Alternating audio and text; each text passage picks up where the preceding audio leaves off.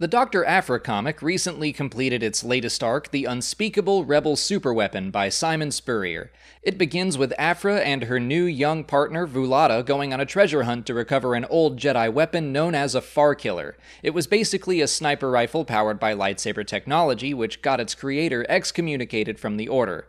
They are successful, but the rebels track her down and capture her, hoping to use the Far Killer to create a superweapon that could assassinate the Emperor from across the galaxy. Thinking she can get back on the Empire's good side, Aphra escapes the rebels and publicly turns the Far Killer over to the Imperial propaganda machine, hoping it would decrease her chances of execution. The gambit works, and she is celebrated as a hero, given some measure of safety. She then learns the head of Imperial propaganda also plans to assassinate the Emperor and grab power for herself. But Aphra betrays her too, foiling all attempts against the Emperor's life, resulting in the execution of the minister. She also finds herself back in the presence of Darth Vader, who tried to kill her the last time they were together.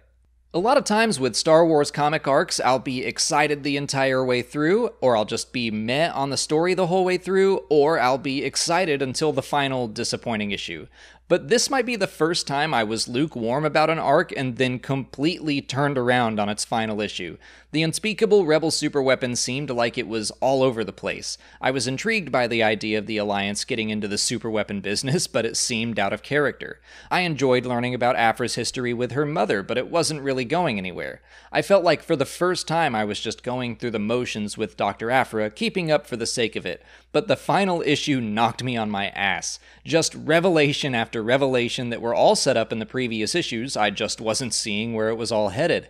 I was most excited by the reveal that the Empire had Aphra's mother killed all as part of a ruse to come in and bring quote unquote order to a planet, and the fact that Aphra felt strongly enough about it to betray the propaganda minister was so satisfying. Aphra is someone that usually doesn't care about anyone but herself, and in a way, I guess this is still a selfish act. She does stop the Emperor's assassination after all, but I was still rooting for it.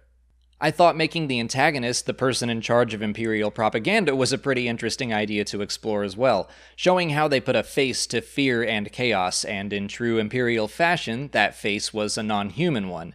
She admits that some of those enemies were real, but most were invented, lies to the public to sow fear and division among citizens. All of this, the invented fear of outsiders and the supposed chaos they might bring, is incredibly relevant today.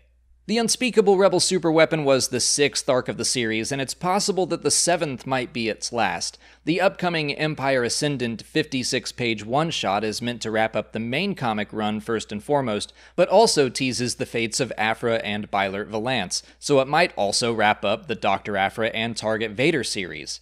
I hope that's not the case for Aphra. Of all of the ongoing Star Wars comic series, I think the Charles Soule Vader was the best. But Dr. Aphra has been so much more consistently entertaining than the main Star Wars run. I love how weird it gets. I love the freedom it can afford not being too closely connected with the main saga. And of course, I love the Indiana Jones inspirations. Even if the comic series ends, I hope to see the character of Aphra endure through books or some other media. I will take anything. But that's a worry for the future. For now, let me know what you thought of this arc in the comments. If you haven't already, please like this video, subscribe to the channel, follow us on Twitter, Instagram, and Facebook, and consider checking out our Patreon page. As always, thanks for watching, and may the Force be with you.